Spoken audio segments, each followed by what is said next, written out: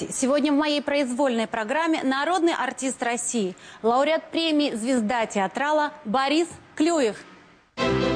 Борис Клюев, обладая аристократической внешностью и незабываемым голосом, за свою жизнь сыграл огромное количество импозантных мужчин. По мере я трудов и сил, с тех пор, как числюсь по архивам, три награждения получил. Его персонажи всегда разные. Умный и проницательный Майкрофт Холмс из цикла фильмов о Шерлоке Холмсе. Блестящий Рашфор в легендарных «Трех мушкетерах». Великолепный герцог де Гис из «Графини де Монсоро» и «Королевы Марго». Популярность Борису Клюеву пришла с фильмом «ТАСС уполномочен заявить», где ему досталась самая отрицательная роль шпиона Трианона. По-прежнему высоко дорожим вашей оперативной информацией о том, когда и откуда выходят караваны судов. В ближайшие дни мы перешлем вам новые рекомендации и все то, о чем вы просили в прошлом сообщении.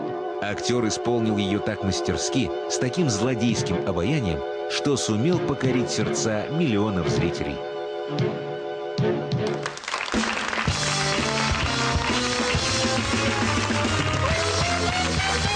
А узнать лучше нашего гостя мне сегодня поможет известный журналист, друг детства Бориса Клюева Виктор Линник.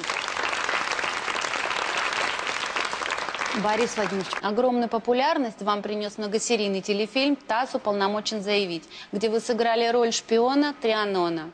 Как вы попали в этот фильм? Вы знаете, у меня в этот момент не было никакой работы, и я от этого очень мучился.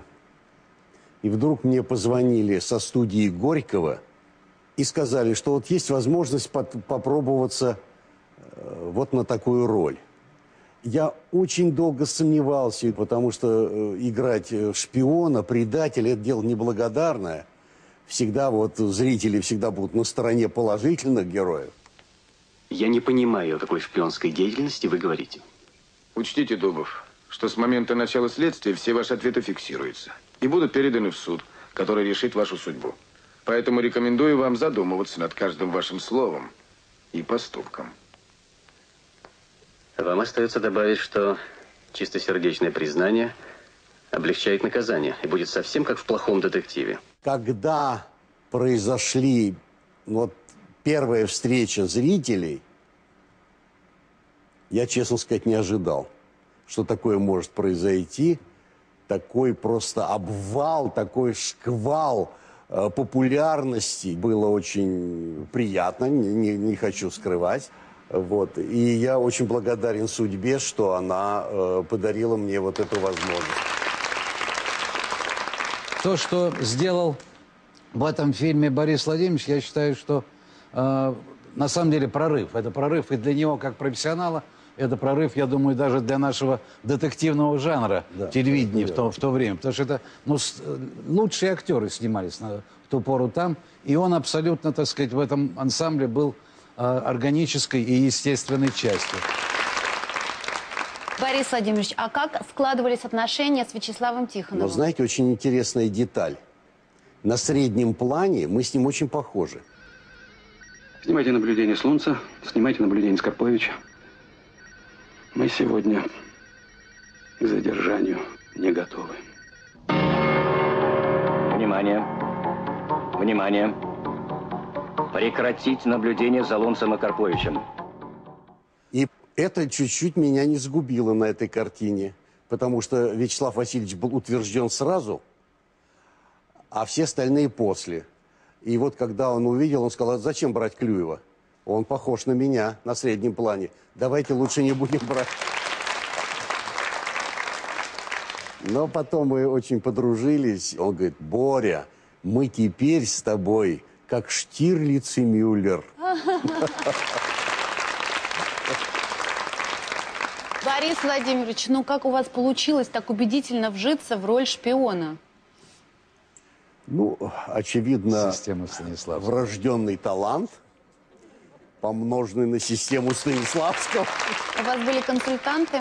Да, полковник Перетрухин был, э, Геварков, это элита была КГБ, следили за тем, чтобы все было правильно, иногда даже вопреки логике. Но существует понятие закон, И вроде мы обязаны входить в квартиру в чужую, а по закону не имеем права. Поэтому иногда приходилось переснимать какие-то вещи, когда говорили, нельзя так делать, это не по закону. Борис Владимирович, вы сыграли брата Шерлока Холмса. О съемках этого фильма ходит много легенд и слухов. Что вы сами можете рассказать? Фильм замечательный, фильм чудесный. Я очень рад, что вот судьба э, подарила мне встречу с Игорем Масленниковым, режиссером. Я очень рад, что я познакомился э, с Василием Ливановым, Брундуков. Э, было очень... Ну, э, Рима Зеленая. Ну, это э, с ней замечательный эпизод был. У нее огромный чемодан, огромный. Ее не видно. Мы выходим на московском вокзале. У нее сестра живет в Питере. Я э, подвожу ее к машине, укладываю этот огромный чемодан, и мы куда-то едем на какую-то набережную, какому-то старому э, зданию. Звонок. Я этот чемодан ставлю, жду. Очень долго никого нет. Потом раздается голос. Кто там? Такой же голос с этой стороны. Это я открывается дверь, и они две начинают щебетать одинаково. Вы знаете, как калибри.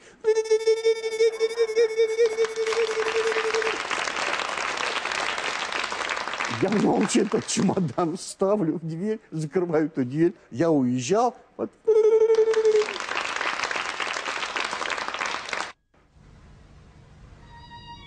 А теперь подползайте и возьмите палку. Да, сэр, да. Я стараюсь, сэр. Только осторожнее. Старайтесь, Понимаю. чтобы вас не было видно из окна. Так, сэр. Да-да, так. Да. А сейчас, миссис Хадсон, палкой попробуйте поводить правую руку. Вот так.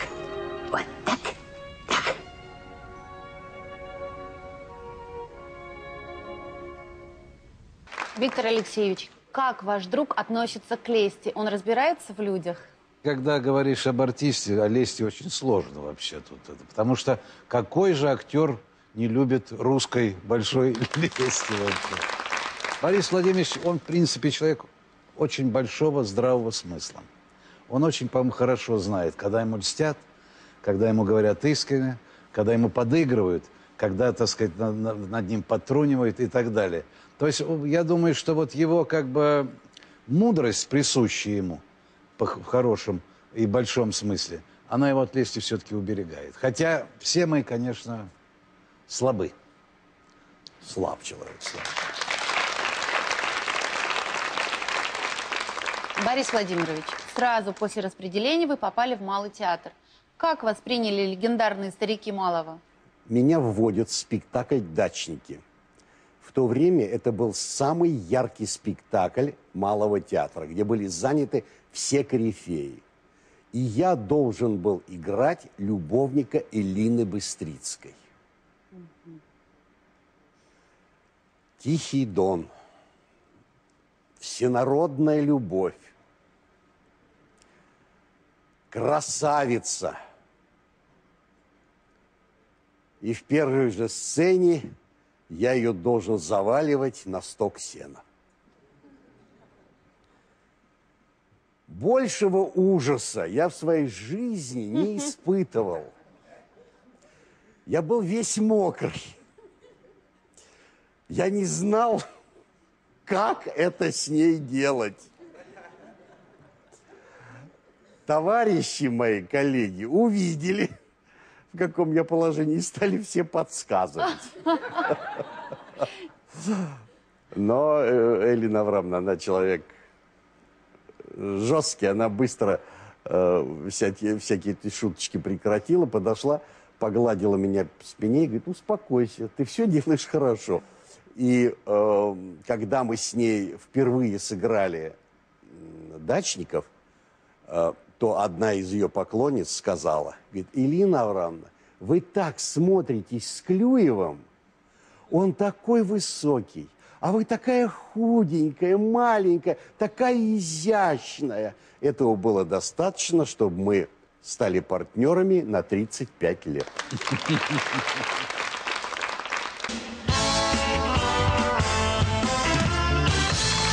Вы смотрите произвольную программу. С вами Татьяна Навка и мои гости. Народный артист России Борис Клюев и журналист, друг детства Бориса Клюева Виктор Линник.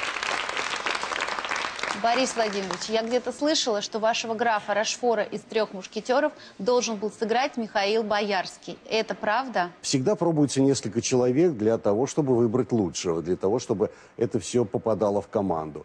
Так что не только один Миша был, там было еще много других, но утвердили меня. Кардинал был влюблен в госпожу Дагильон. Повезло и... Не стесняйтесь, граф, продолжайте. Откопать шампиньон. Лилон, лила, лилон, лила, лилон, лила, лилер. Лилон, лила,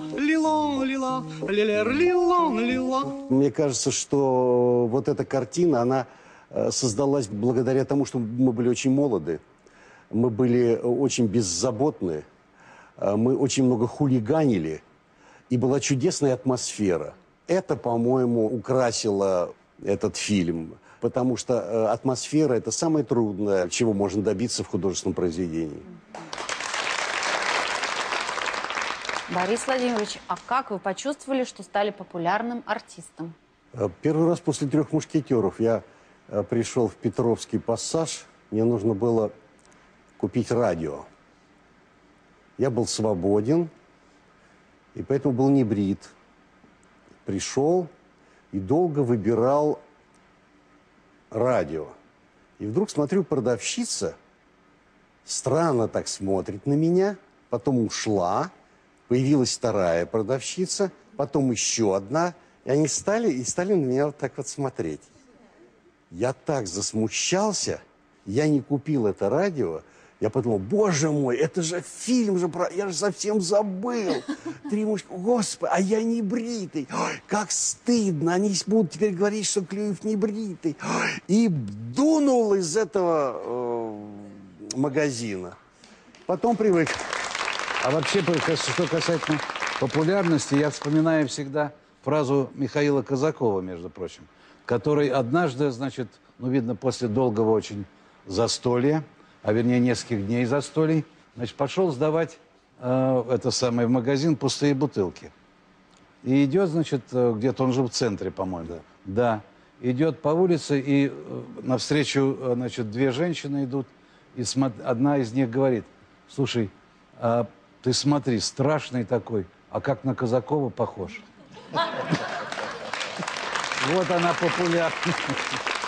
Виктор Алексеевич, а какие преимущества вашему другу давала популярность в советское время? Ну, во-первых, это, я думаю, и в советское, и в нынешнее время, так сказать, одна, вот одно неизменное совершенно преимущество – это с гаишниками, конечно. А вот можно такую деталь я расскажу. Еду я по Кутузовскому проспекту, ну, конечно, там свободно, еду. Вдруг гаишник откуда-то выскакивает, останавливаюсь. Он идет такой суровый, идет, подходит, и вдруг лицо становится большим, широким, мягким. Говорит, товарищ Трианон, ну что же вы нарушаете скоростной режим? Придется сообщить в американское посольство. Виктор Алексеевич, а какой характер у Бориса Владимировича? Взрывной. Он, на самом деле, человек очень порывистый, так сказать, и у него бывают перепады такие в настроении, так сказать, поэтому... Но это больше, как бы, знают его друзья и домашние. Вот Борис Владимирович усвоил. Нужно быть по-королевски любезным и по-человечески добрым к остальным. Борис Владимирович, вот как мы выяснили, вы вспыльчивый. А драться вам когда-нибудь приходилось? Танечка, очень много раз.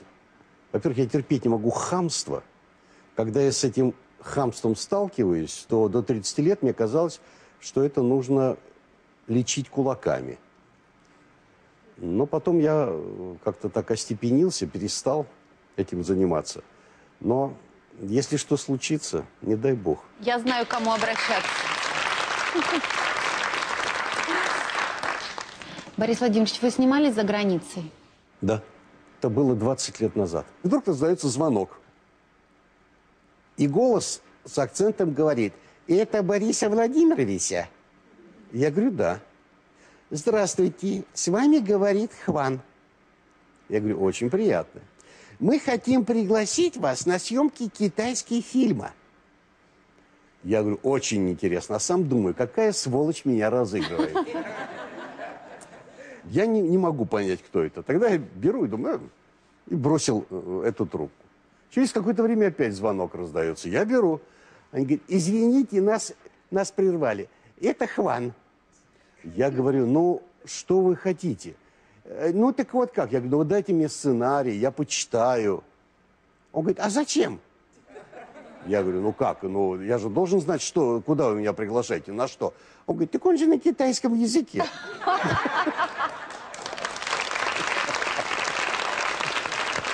Когда я вышел в Пекине в аэропорту, я просто испугался. Такого количества людей я не видел никогда. Я ничего не понимаю на китайском, ничего не понимаю. И когда я увидел Хвана, этого переводчика, который стоял, я к нему бросился как к родному отцу. А он говорит, говорит, вот, познакомьтесь, это режиссер этой картины. Ну, такой китайчик смотрит на меня, и лицо у него такое так. Я думаю, ну, не понравился. Бывает. Ну, думаю, ну, хоть день погуляю по Пекину и поеду обратно. А оказывается, он просто не, не ожидал, что я таких габаритов больших. Я только хотела сказать, вы, наверное. Все, да. И тут же там, значит, пять актеров они сняли и подобрали друг, других повыше. Виктор Алексеевич, а вы видели этот фильм на китайском языке? Нет, его никто не видел. Только китайцы. Слава богу. А вы сами, Борис Ильич, а вы сами-то видели? Нет. Но, правда, после этого, когда фильм прошел по всему Китаю, меня после этого приглашали... Стали узнавать в Китае. Да, да, я там стал национальным героем. Более того, я участвовал в международном фестивале шаолиньского ушу, где, э, честно сказать, я был абсолютно тронут тем, что, представляете, в 2 часа ночи э, самолет прилетел, и там стоит, ну, приблизительно миллиона полтора людей, и вот так вот стоят и смотрят. А я когда вышел, говорю, а что случилось? Они говорят, ничего, это вас пришли встречать. Вот такая массовка. Вот, вот она слава.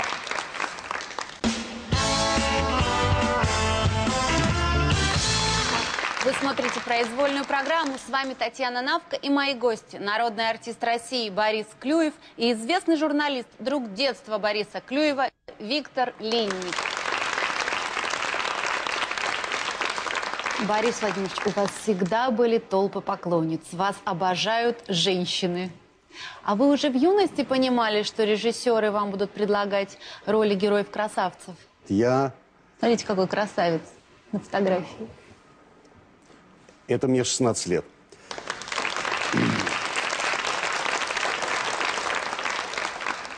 Нет, я в то время э, был очень не уверен в себе, э, потому что я э, рос таким интеллигентным мальчиком, а в то время это не очень приветствовалось.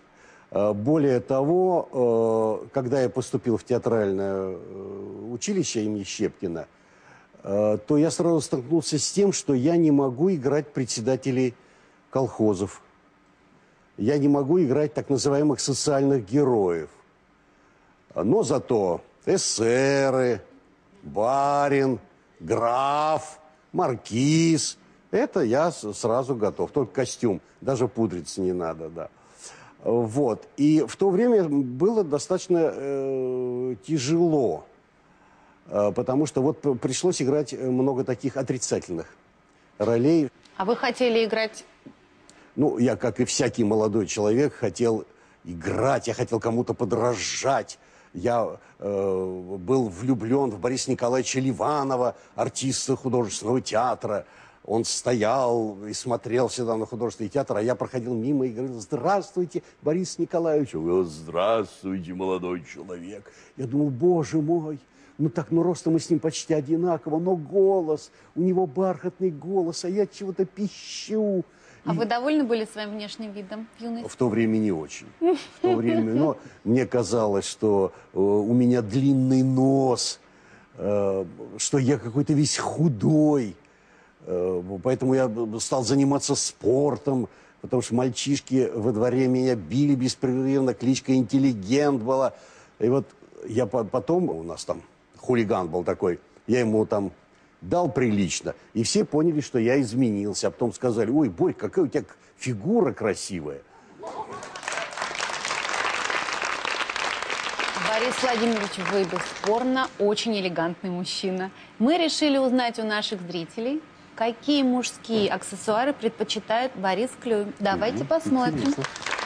Любого мужчину украшают галстуки а Клюев тем более актер. Я думаю, он исключительно носит галстуки и бабочки.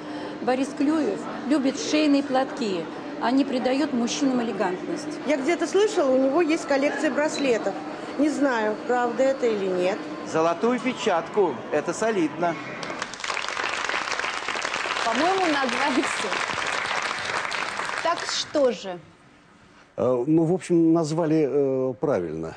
Э, каждый раз я, э, у меня что-то есть. Вот, например, вот этот браслет, это э, я ношу 25 лет. Это съемки фильма в Китае. Платок вы видите, это да. Галстуки тоже очень люблю. Это кольцо, это память о моих первых студентах, якутов. Сейчас все они народные артисты. Один из них даже министр культуры Республики Саха. Виктор Алексеевич, что для Бориса Владимировича стиль? Ну, сказано ведь давно, что стиль – это человек. Вот я скажу, что это полностью фраза вот укладывается в то, что собой представляет Борис Владимирович. Это человек, который, во-первых, воспитан а, ну, естественно, семьей, мамой прежде всего. Воспитан Щепкинским училищем, воспитан четырьмя с лишним десятилетиями работы в Малом театре. Ну и, конечно, много, ста, примерно с 150 ролями в кино.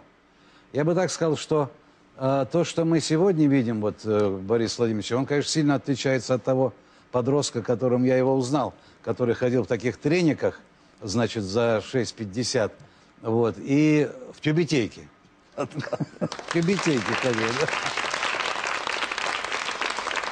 Огромное вам спасибо, Борис Владимирович и Виктор Алексеевич. Это была произвольная программа. До встречи через неделю.